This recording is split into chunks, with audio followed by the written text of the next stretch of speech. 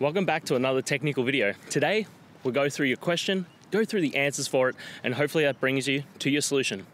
Guys, remember to stay just a little bit crazy to get to that solution just like me. And let's get started.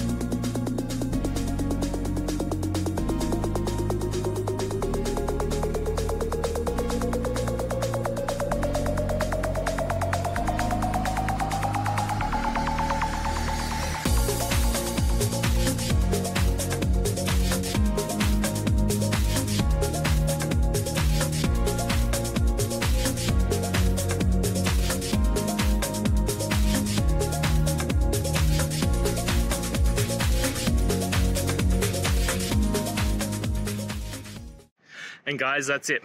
I hope this video has helped you get you through to that resolution you needed. If it did, please, I'd appreciate it if you hit subscribe. Now, until the next time that you need technical help, I hope you have a good one. Cheers.